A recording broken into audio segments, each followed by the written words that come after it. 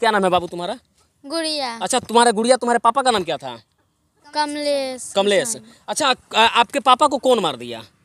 मेरी मम्मी ने दो की तीन आंधी के बुला कर लाई हम्म। और मरवा दी। मुआने पर हुआ ना तो उसने बहुत दारू पिया के आया पापा का सुला के या रात के आया उसने मरवा दिया पापा को। अच्छा कैसे मारा था? कैसे मारा था पापा को? हम्म? कैसे मारा था? एथी माई मुँह जतले रहे।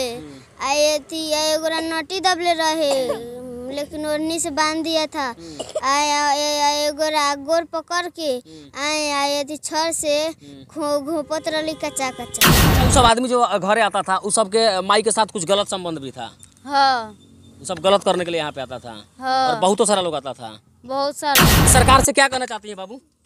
सरकार से क्या कहना चाहता हूँ सरकार से कहना चाहती हूँ कि उसको 20 साल की सजा मिली हुई है। 20 साल में बचेगी चाहे मर जाएगी। अच्छा यानी कि तोरा माई के सरकार 20 साल का सजा देवे वो बचे चाहे मर जाए। हम्म, अब तो उन्हीं के माई की ज़रूरत नहीं है ना पापा मर गए मातारी हो होई तो का करी सब? आपने अक्सर प्यार, मोहब्बत में लड़का और लड़की को मरते देखा होगा। ऐसा ये सुना जाता है कि परिवार वाले मिलकर के कभी लड़की की हत्या कर देते हैं तो कभी लड़का को पकड़ करके उसकी हत्या कर देते हैं। लेकिन आज जो मामला हम आपको बताने जा रहे हैं, इस मामला को सुन करके शायद आप बहुत आश्चर्य में पड़ जाएँगे और आपके पैरों तले से ज़मीन भी खिसक जाएगी। आपको बता दें कि एक रिक्शा चालक का सामने बगल में घर है और रिक्शा चलाने वाले व्यक्ति को एक मुस्लिम लड़की से 20 साल पहले प्यार हो जाता है और प्यार के बाद दोनों अपने राज़ी खुशी से उसे शादी में तब्दील कर देते हैं, लेकिन परिवार के लोग इस रिश्ता से खुश नहीं होते हैं। जब ये रिश्ता शादी में बदल जाता है तो दो बच्चे भी जन्म ले लेते हैं और उसके बाद भी उस औरत के कुकर्म के कारण आज ये देखिए कि ये लड़की जिस प्रकार से घर में मरने के बाद क्रिया लिया जाता है, कर्म लिया जाता है, ठीक उस प्रकार से लड़की यहाँ पे डंटा और इस प्रकार से मर्दानी भी पहने हुए लड़की अपने पिता का कर्म ली हुई है और इसके पीछे की कहानी इसके माँ के कुकर्मों की बात है। इसकी माँ अपने प्रेमी संग मिल करके अपने पति को ही जान से मार डाली। आइए इससे जानने का प्रयास करते हैं कि आखिर मामला क्या हुआ था। क्या नाम है बाबू तुम्हारा? गुड़िया। अच्छा तुम्हारे गुड़िया तुम्हारे पापा का नाम क्या था? कमलेश। कमलेश। अच्छा आ- आपके पापा को कौन मार दिया? मेरी मम्मी ने दो की तीन आंधी के बुला कर लाई और मरवा दी। अच्छा वो जो आदमी सब आया था उसका नाम क्या क्या है? नाम नहीं नाम नहीं पता। है। लेकिन तुम्हारे मुँह बाँध बाँध कर आए थे। अच्छा मुँह बन के आया था।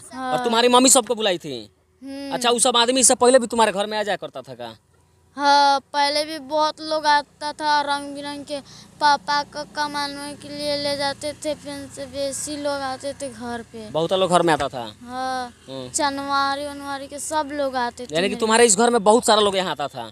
हाँ। अच्छा वो लोग क्या करने आता था बाबू? मेरे पापा को कभी ले जाते थे कमवाने कभी अथी कोई हो के पी यदि पियाने ले जाते पापा को यदि पी के पापा का सुतवा देते और वह रात के पापा का जब मुआने पर हुआ ना तो यदि पापा के दारू पिया के माई या पापा आए थी हो सारू सारू के नातरा लोग ऊ भी ब- हमारे घर घरामी रहा था उहे ना उहे ना ये थी दारू पिया कर पापा के ये थी नाशा में खूबी कर कर आया पापा सुत गए रहन घर में आया घर में से दे थी तीन की दू लोग के बोलवा के माई ने मारवा दिया था और उहे जब हमने सब खाना बनाने था ना तो ये थी माई जाके हालाँकि कि हमार मालिक मर गया मर गया। यानी कि तोहर माई जो घर बनाने वाला घरामी था वो तुम्हारे पापा को साड़ू साड़ू कहता था। हाँ। अच्छा ओकनिए के बोला के मरवा दिली। आ मरवाला के बाद खुदे हला कर दिली कि हमारे मालिक मर गई हम्म। अच्छा वो सब आदमी जो घरे आता था उस सब के माई के साथ कुछ गलत संबंध भी था। हाँ। सब गलत करने के लिए यहाँ पे आता था। हाँ। और बहुतों सारा लोग आता था। बहुत सारा। अच्छा बाबू ये बता रहे थे तुम लोग कि पापा जी का जो लाश था वो बड़ी महक रहा था बाबू? हाँ बहुत ज़्यादा महक रहा था। पोस्ट मास्टर हो गया था और ज़्यादा महक रहा था। यानी कि अलग दो तीन दिन पहले ही उसे मार दिया था उनको? पापा तो हमको एक ही दिन लौका बाकी दो दिन ना लौका मुझे पापा। अच्छा एक दिन लौके बाद दो दिन नहीं लोगे? ना। अच्छा इ सब सब काम जो कांड जो है सब तो, तोरा माइये के चलते भइल बा। हम्म। तोरा माई के चाल ऐसे भी पहले से खराब रहलक हँ। हाँ खराब रहा हाँ। बा, बाहर बाहर के बहुत सारा लोग घर में आवे गलत काम करे खातिर। हाँ। अब जरा बताइए अब ई बचवा सबका जीवन कैसे चलेगा? एक ई बहन है जो बड़ी बहन है जो अपने बाप का क्रियाली हुई है। एक ई बहन है और एक और लड़की है जो बगल में यहाँ पे सोई हुई है। और एक उसका छोटा भाई है तुल आप लोग तीन बहन हैं। हाँ। और भाई एगो छोटा है। तीन बहन एगो भाई। तीन बहन एगो भाई।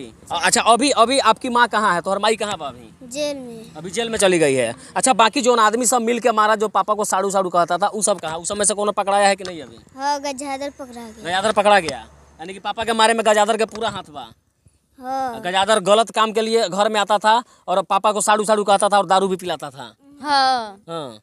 पिला पापा पा, पापा के मुआने पर हुआ ना तो उसने बहुत दारू पिया के आया पापा के सुला के या रात के आया उसने मरवा दिया पापा को अच्छा कैसे मारा था? कैसे मारा था पापा को हम्म? कैसे मारा था? एथी माई मुँह जतले रहे आ एथी एगोरा नटी दबले रहे लेकिन ओढ़नी से बाँध दिया था।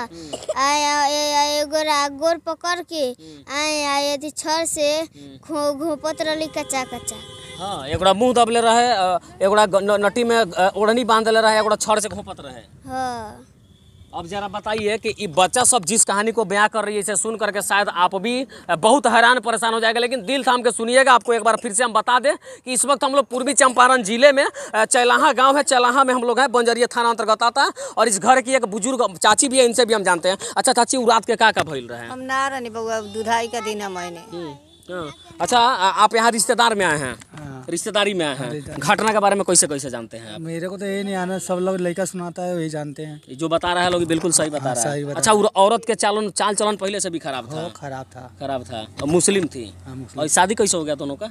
अब मांगे रिक्शा चलाता था रिक्शे में सेट हो गया होगा। यानी कमलेश रिक्शा चलाते थे। हाँ, रिक्शा चलाते और रिक्शा चलाते चलाते उस मुस्लिम लड़की से प्यार हो गया। प्यार हो गया। और प्यार के बाद लोग शादी कर लिया। शादी कर लिया। अच्छा इसको आप प्यार देखते हैं आ कि हवस देखते हैं? नहीं तो प्यार तो नहीं है अब तो हवस हो गया है। हम्म, प्यार था तो, तो ढंग से तो विशाल साल ले आया हाँ विशाल और जाने देता तो ना प्यार होता। हाँ। और बीच में मार दिया तो और बीच में जब पचास पचास आदमी किसी घर में किसी महिला के पास जाए तो प्यार रहा कहा? वही तो है। हाँ। हैं?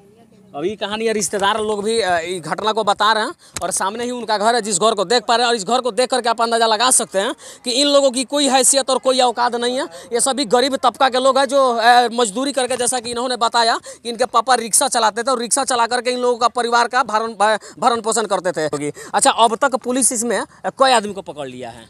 दो आमदी कर किसको- एक किसको? माँ को हाँ। एक गजाधर शाह को। बस दो आदमी को। और ही- और लोग का नाम है केस में क्या पता है केस में अभी रिपोर्ट कुछ और ये बच्चा सबको अभी पता भी नहीं है कि अब हम लोगों को क्या करना है लेकिन एक बार दृश्य देख लीजिए कि कुकर्मी माँ की वजह से ये बच्ची जो है अब इस वक्त जिस समय पढ़ाई लिखाई करना चाहिए था इस वक्त अपने बाप का पूरी कारी कांटी लेकर के और क्रियाक्रम ली हुई है। इनकी माँ की बात रही तो इनकी माँ अभी जेल चली गई है।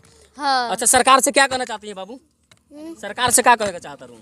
सरकार से कहना चाहती हूँ कि इसको 20 साल के सजा मिली हुई है। 20 साल में बचेगी चाहे मर जाएगी। अच्छा यानी कि तोरा माई के सरकार बीस साल के सजा देवे वो बचे चाहे मर जाए। अब तो उन्हीं के माई के ज़रूरत नहीं है ना पापा मर गए मतारी हो होई तो का करी सब? हम्म। अब मतारी अब मतारिए रह के का करी उहो अब अकेले? जबकि पापा के तो उहे मुआ दिलक।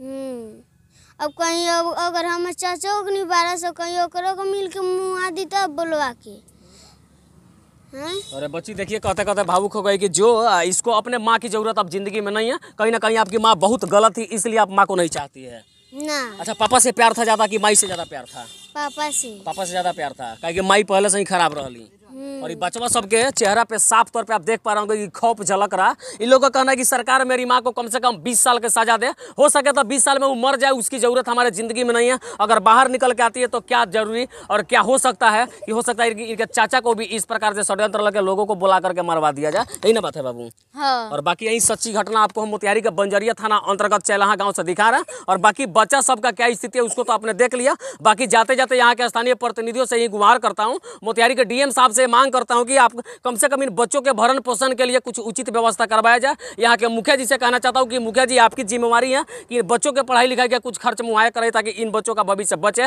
और बाकी समाज में इस प्रकार की घटना नहीं हो। इसके लिए समाज के लोगों को भी जगना पड़ेगा। जय हिंद।